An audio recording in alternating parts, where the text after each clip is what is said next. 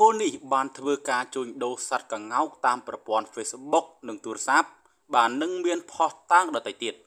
ភ្នំពេញរដ្ឋបាលព្រៃឈើតាមរយៈសេចក្តីបំភ្លឺដែលបណ្ដាញព័ត៌មានទទួលបាន នៅថ្ងៃទី26ខែកុម្ភៈឆ្នាំ2023នេះបានអះអាងថា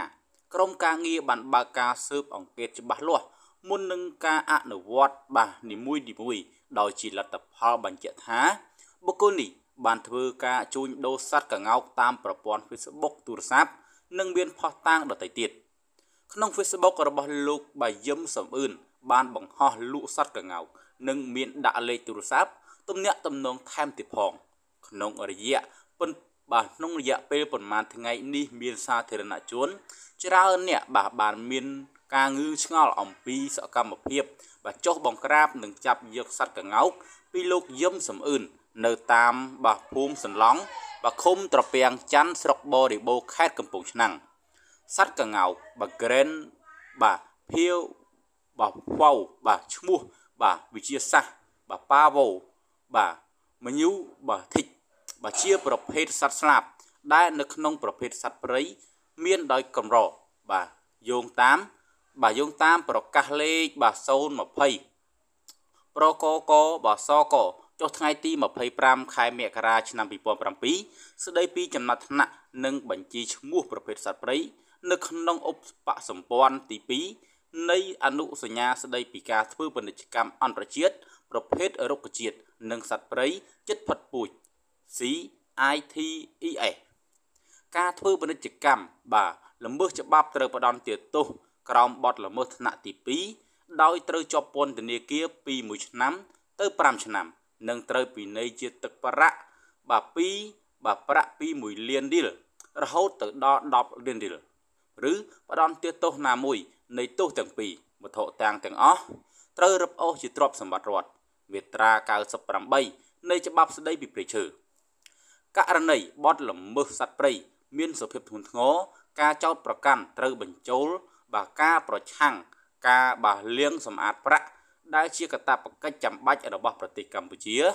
អនុលោមតាមច្បាប់បាជាតិនិងច្បាប់អន្តរជាតិហើយក៏ជាសកម្មភាពមួយ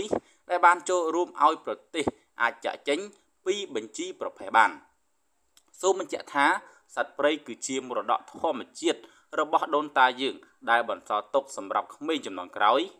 សត្វព្រៃនៅក្នុងប្រទេសកម្ពុជាចែកចេញជា3ក្រុមក្រុមទី1ក្រុមប្រភេទបាចិត្តផុតពូជ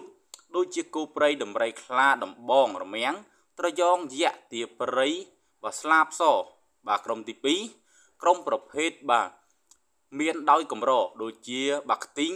បាទទុនសោងបាទខ្លាឃ្មុំតូចបាទទូចបាទគ្រីលកងោកសេកសោមនិងក្រុមទី3ក្រុមប្រភេទបាទមានទៅដោយបង្គួរដូចជាបាទជ្រូកព្រៃបាទឆ្លោះទន្សាយបាទសំពោចកុកបាទមន់ព្រៃ បាទទ្រោមប្រវឹកសារិកាកែវបាទកជីកម្មជាដើមបងប្អូនសេចក្តីស្រឡាញ់ចំពោះសត្វព្រៃអាចឆ្លុះបញ្ចាំងតាមរយៈការចូលរួមថែរក្សាអភិរក្សការពារសត្វព្រៃដែលរស់នៅព្រៃដោយសុវត្ថិភាព ការមានទស្សនៈស្រឡាញ់សត្វព្រៃបាទដោយសកម្មភាពបបាញ់ដាក់អន្ទាក់ចាប់យកមេបាបងកូនសត្វព្រៃជាទង្វើមួយឈានទៅរកការវិនិច្ឆ័យហោចសត្វព្រៃជាពិសេសប្រភេទសត្វចិត្តផុតពូជតែម្ដង ឬមានដោយកម្រនិងជាអំពើល្មើសច្បាប់ទីផងបាទបងប្អូនអ្នកគ្នាឃើញថាបរោះម្នាក់នេះបាទដូនតាខំបន្សល់ទុកឲ្យនៅសត្វព្រៃសត្វកម្រណាបងប្អូនណាជួយអភិរក្សបែជាមិនជួយចូលរួមអភិរក្សនោះទេ បាទថែមទាំងជួយបំផ្លាញទៅទៀតអញ្ចឹងបានថាបងប្អូន